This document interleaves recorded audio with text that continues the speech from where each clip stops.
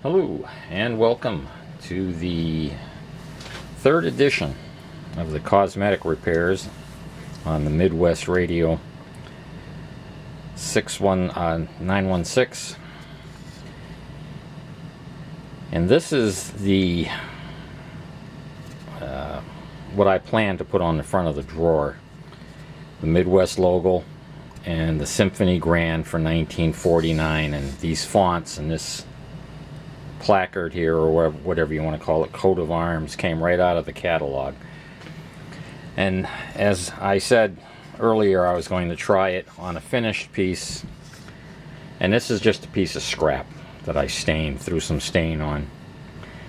I'm not real happy with the look of that. Uh, this side looks pretty good, but that means I'd have to do the drawer in like a maple instead of uh, making it match the rest of the cabinet. So instead of doing that, I shrunk it down to a much smaller size where it'll fit on a 2 by 4 inch piece of brass. And I have gone ahead and ordered the uh, 1064 nanometer or 1064 nanometer laser head for this unit. And that was fairly pricey, but with it I'll be able to engrave stainless steel. I'll be able to do this on stainless, copper, brass, aluminum, just about anything like that. The 1064 won't burn wood, or not very well anyway, but it will work very well on metal. So I've got that head on order. That'll be here. Actually, should be here tomorrow with any luck.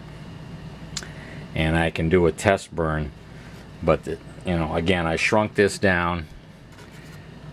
And we'll put that on a brass or a copper plate, which will affix to the front of the drawer with the logo and the Symphony Grand. When I burned this one, I did it 100% power. This is a three-quarter inch piece of pine and that is almost a quarter of an inch deep. Uh, two more burns, you know, two more passes, I could have gone through this three quarter inch, which is just amazes me that uh, it's got that kind of power behind it. Uh, at any rate, I think that's what I'm going to do. In fact, I went up in the barn today and found some of my scrap copper and I've got a good sized piece here that I will do the test burn on.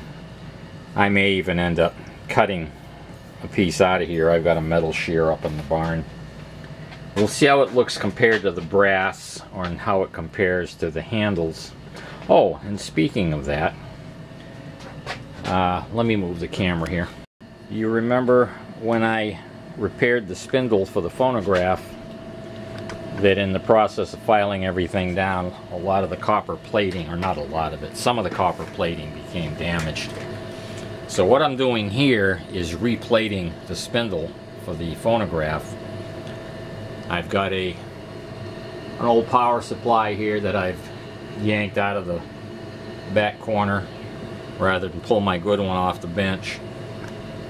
And we have a bucket of lukewarm water, about half full, about three quarters of a cup of baking soda, uh, just a small teaspoon of salt to make the water a little more conductive, and two pieces of copper pipe. The copper pipe connects to your positive electrode, and the workpiece down here connects to the negative electrode, and we're only running about 5 volts. But this is beginning to, where the brass is, is beginning to take copper, and the places where I scratched it up with a file are beginning to take copper. And I'll just leave this in here for a few hours. It'll take a while, but this eventually will be fully copper plated again. You'll never know it had any damage on it. And my plan right now outside uh, in 99% IPA in my ultrasonic cleaner I have the drawer pulls are out there and I'm going to let those run for an hour or two in the ultrasonic cleaner to give them a deep clean. I'll buff them up a little bit and I'll put them in here as well and give them just a flash coat of copper on top of what's left of the brass and polish those up and they should look pretty good. I originally had said I was going to do brass plating but you have to have a cyanide solution to do real brass plating. Brass is basically copper and zinc I think it is. And if you don't have a an arsenic solution the two alloy the alloy comes apart and just makes a mess. Uh, I hope I'm explaining that correctly. But it takes special chemicals chemistry that I don't want to play with but simple baking soda a little bit of electricity I'll be able to put a little bit of copper back on top of the uh, whatever is left of the brass and whatever is bare steel will come back and I'll polish those up and they should look fine. Those of you who have been watching me for a while will remember when I did the EICO VTVM and those who haven't seen it you can go back and find that video. The chassis in that had been or had received a lot of uh, battery damage. The battery had leaked and it corroded all of the uh, plating on the chassis. And I had glass beaded that and did the same process here but instead of using copper I used some uh, zinc sheet and I replated the chassis in zinc. And you can go back and take a look at that video. It came out beautifully when it was done it's not fast but you know we're not in a hurry. We'll just let this sit for a few hours. It'll pick up some copper. We'll polish it up and it should look pretty decent. And I'll do the same thing with the drawer pulls after they've cleaned up. I'll throw them in this solution. Let them sit for a few hours. I could even let this go overnight. It won't hurt it. And buff it up in the morning. So I'll stop here for you it'll just be a couple seconds and you'll see what this looks like after I take it out Okay, we've pulled this out of the bath and thrown the drawer pulls in there. Took those out of the ultrasonic cleaner. Please excuse the dehumidifier running in the background. It was 85 today with a lot of humidity. It looks like this is all in frame I hope. I'm busy looking at it and not watching where the camera is here. Looks like everything's been coated with copper. And uh, let's see what we've got. There we go. Dry this off. Oh where's my rag? There it is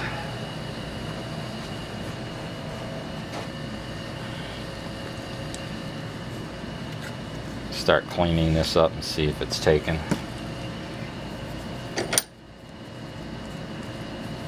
Oh yeah. It's going to come out of the bath looking pretty grody. There's a lot of uh, contaminants in there.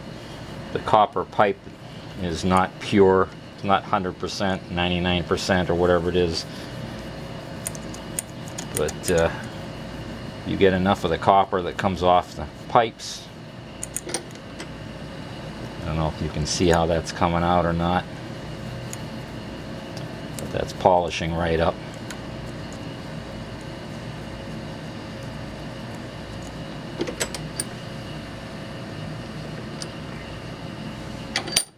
I think this is going to be pretty decent looking at this point. Unless you look really close, you'll never know. This was broken.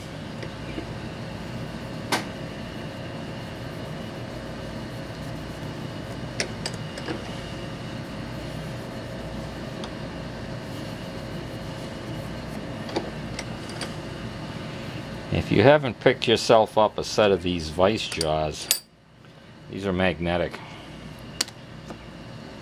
Now I've got aluminum ones, I've got brass or copper ones, uh, but these soft plastic ones are just awesome. Non-scratch. Yeah, that's cleaning up nicely.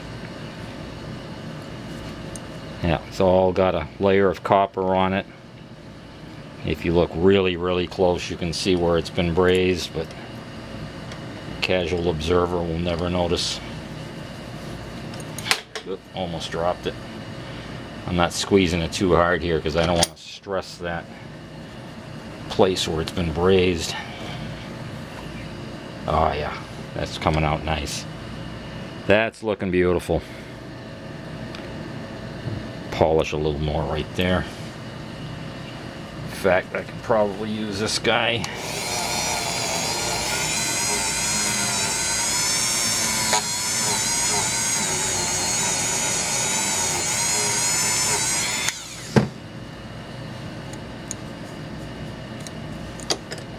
No more bare steel.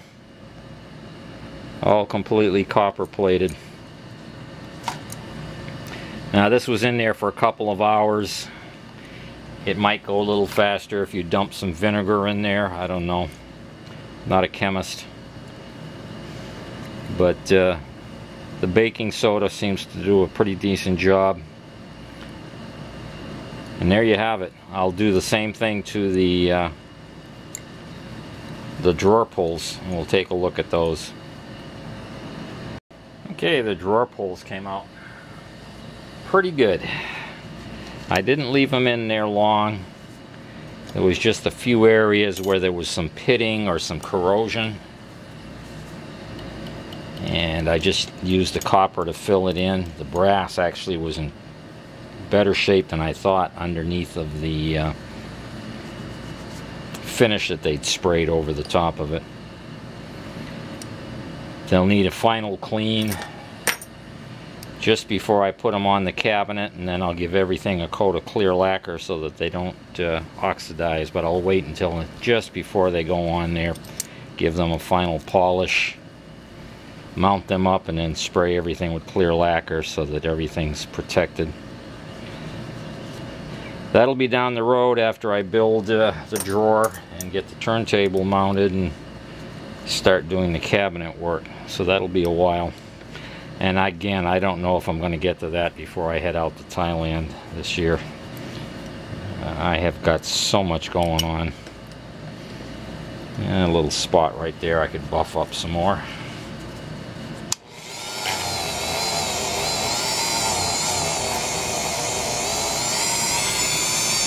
Copper is filled in any areas or most of the areas. Is a little spot right there where there was some corrosion but at least it's got a copper color to it now. It won't be noticeable. These actually came out pretty good. I'm surprised. They've uh, cleaned up nicely the copper's filled in all the worn areas. Matches very well. This you can see a little bit of more copper color there, but they don't look bad at all. I think those are going to pass. So that's it for this one. Short and sweet. Just wanted to keep you up to date on what I was doing to uh, some of the hardware. I don't know about the drawer hinges. I think I might leave those a dark color so that they're not as noticeable on the door hinges and, and the slides inside. You don't want those to stand out as much as the pulls. And again, they'll get a final clean, a final buff just before, there's a spot there I missed. A final buff just before I put them in there and a coat of clear.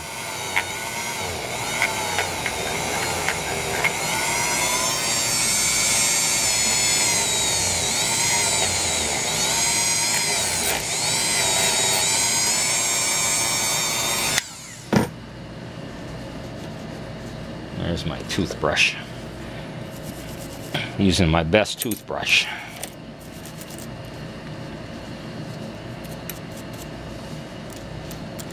Just kidding. Okay, we're gonna call that done for now. We'll dip these in, uh, I might run these through the ultrasonic cleaner again just to get all the polishing compound out of there afterwards. Just before I clear uh, clear coat them just to make sure there's no oil or anything keeping the lacquer from sticking. And uh, don't need to buff up the back side. But that'll be mounted against the drawer. Okay, that's it. Thanks for stopping by. And uh, don't be afraid to try some of the plating. It really isn't very hard to do. All you need is a little power supply, a little bit of baking soda, and a bucket, and some sacrificial pieces of copper pipe. Or if you're doing a chassis, some you can buy zinc sheet at the home improvement store. And uh, plate your own radio chassis. They come out pretty good. Go back and take a look at that EICO uh, video where I redo the chassis on that. Uh, if I can think of it when I edit this, I'll dig up the uh, the link, put it down below in the doobly-doo. Yeah, that area could have stood a little bit longer in the tank.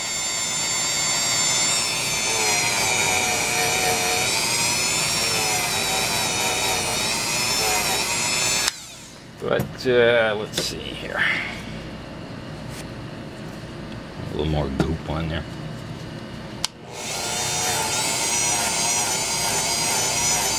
There we go. That's polishing up now. Just needed a little more abrasive. That's blended right in. Beautiful. Yeah, completely, it's invisible now. I can't even see where they were. Okay.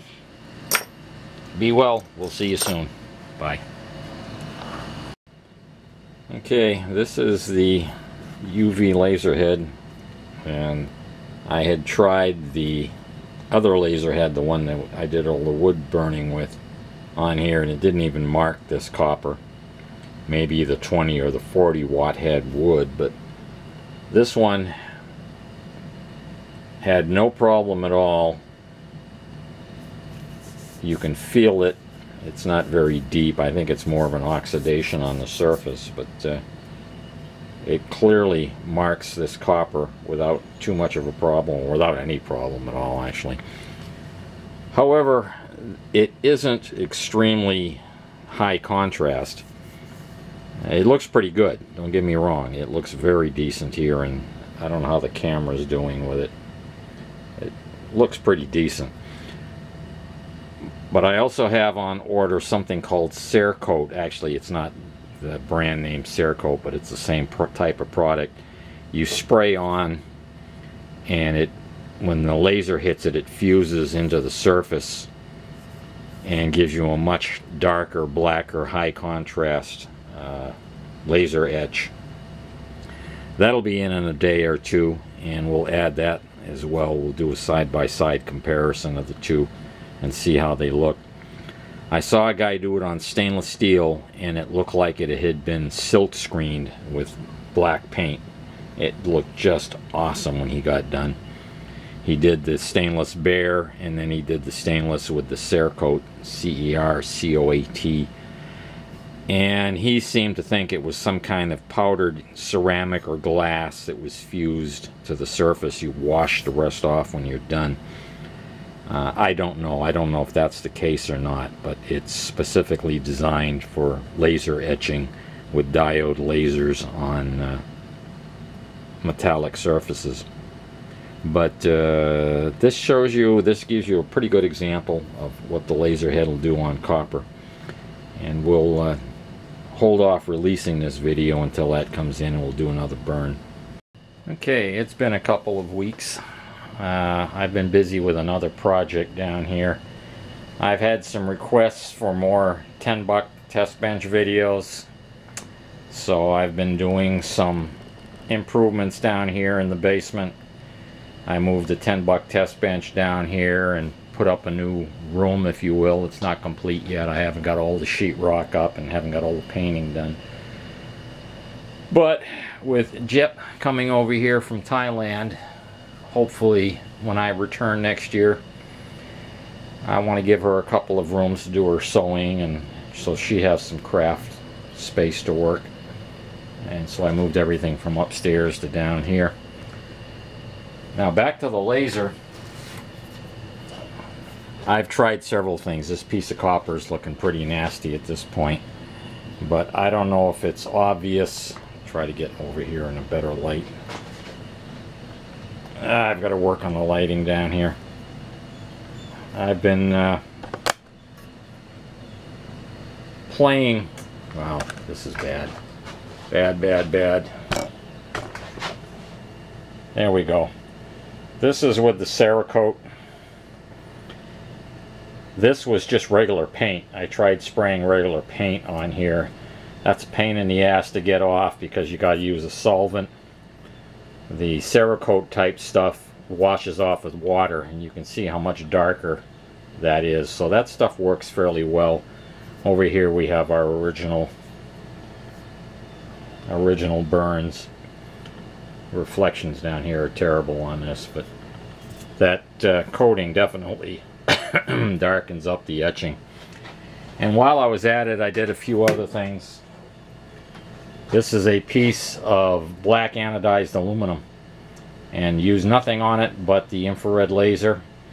And boy it did a beautiful job of engraving on the black anodize. It just that just pops really looks great. And I had a scrap piece of marble. My sister's birthday is coming up.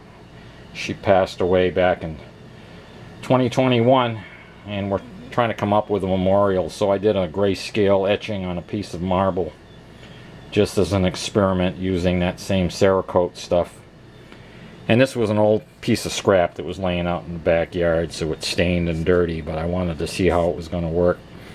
So my sisters picked up a piece of, my other sisters picked up a piece of marble and uh, we'll redo this. So that's what the coating stuff looks like. And we're really going to end this one this time. Let's call this the end. Uh, boy, if you have black anodized stuff you want to mark up, it's fantastic uh, pick up some of that spray coating. The difference, I don't know how it looks in the camera, but the difference to the eye is it's remarkable between that and this one down here. Thanks for watching. Uh, hope somebody got a few tips, learned something. If you've got any better ideas, pass them along down there in the doobly-doo. And uh, we'll get another one out as soon as we can find some time here. Until then, take care. Bye-bye.